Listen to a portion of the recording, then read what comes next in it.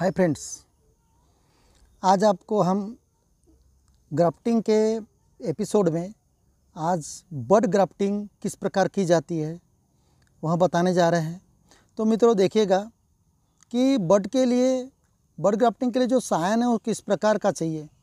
तो मित्रों, यहाँ सायन देखिएगा ऐसी बर्ड चाहिए सायन पे जो कि फ्लैश आउट करने वाली हो या तो निकल चुकी हो। फ्लैश आउट का मतलब जो निकलने के मार्ग पर हो। तो जैसे फोड़े फुंसी होते हैं मित्रों, उस प्रकार का स्वेलिंग पोर्शन चाहिए बड का तो वह बेस्ट होती है। तो उसे हम किस प्रकार निकाले, मैं स्टार्टिंग में निकाल कर आपको बताया है कि उसमें हार्ड वुड के साथ में निकालने का और बाद में हार्ड वुड को इस प्रकार खींच के निकालने का। देखिएगा हार्ड वुड अलग है और जो बार्क है वो अलग निकल गई है। तो यहाँ कितना डिस्टेंस पे चाहिए?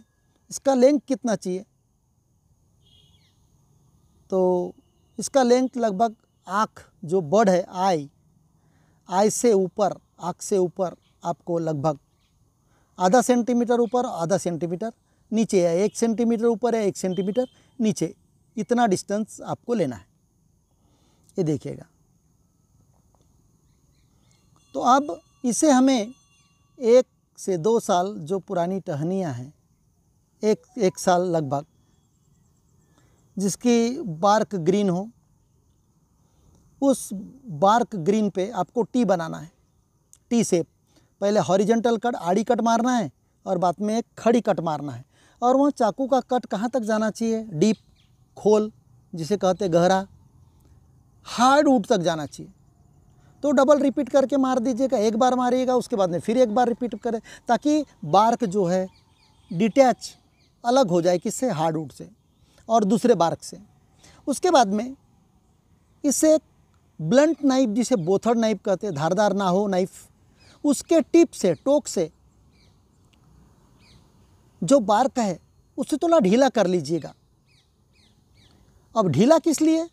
कि वहाँ पर हमें आई डालने की, आँख डालने की, आँख बड, आई बड, उसके अंदर शिफ्ट करने के। ये देखिएगा, किस प्रकार धीरे से चाकू का टिप ऐसा इंसर्ट करने का है मित्र, देखिएगा, इस प्रकार। यहाँ बहुत डेलिकेट वर्क होता है, नाजुक वर्क होता है। शार्प नाइफ का यहाँ इस्तेमाल नहीं करने का इसमें ख्याल में रखा। सिर्फ़ बड निकालते वक्त ही आपको एकदम थीन पतले वाले चाकू का या ब्लेड का इस्तेमाल करने का ब्लेड भी इस्तेमाल कर सकते मित्रों। और आपके घर में नेल कटर वगैरह का जो चाकू रहता है, नहीं दूसरे ग्राफ्टिंग नाइफ है आपके पास में तो नेल कटर का भी नाइफ नेल कटर में नाइफ होता है, वो भी इस्तेमाल कर सकते हैं। या तो किचन में एकदम धारदार वाला नहीं इस्तेमाल करने का ब्लंट बोथड़ जिसमें धार ना हुआ ऐसे चाकू इस्तेमाल कीजिएगा। ये देखिएगा, हम इसमें बड डाल रहे हैं मित्रों। यह सब सेम बड हम गुलाब में भी करते हैं। सेम बड हम संतरे के भी कलम करने के लिए इस्तेमाल करते सेम इसे टी ग्राफ्टिंग करते हैं। हमने यहाँ बेर के ग्राफ्टिंग में भी हमारे वीडियो प्लेलिस्ट में जाकर देखेगा। तो मित्रों मेरे वीडियो प्लेलिस्ट में आप अगर से जाकर देखेंगे तो बेर का ग्राफ्टिंग है टी ग्राफ्टिंग तो बेर का है नींबू का भी सेम किया जाता है टी ग्राफ्टिंग आई ग्राफ्टिंग भी की जाती है। तो यहाँ हम टी ग्राफ्टिंग करने जा रहे हैं। इस प्रकार बर्ड को आप उसके अंदर इंसर्ट कीजिए। और यहाँ टी कितना बड़ा बनाने का मित्रों?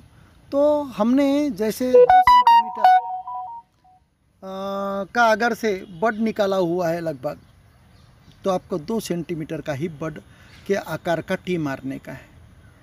तो इस प्रकार आपको बड शिफ्ट करने के मित्रों, और आपको बड शिफ्ट करने के और तो ग्राफ्ट करने का जो अननेसेसरी जो पत्ते हैं, वह कट कर लीजिएगा, ताकि आपको जो जो टेप अपन वाइंड करते हैं, बांधते हैं तो उसमें तकलीफ़ ना हो।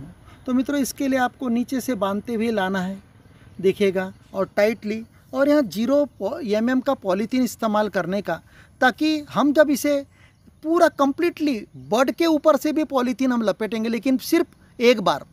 और बाकी जगह दो बार, तीन बार भी आप लपेट सकते लेकिन बट के ऊपर मात्र सिंगल वाइंडिंग होना, एक ही बार बट के ऊपर से देने का पॉलीथीन ज़ीरो एम का। बाकी जगह टाइटनेस के लिए आप डबल, ट्रिपल नीचे ऊपर लपेट सकते हैं।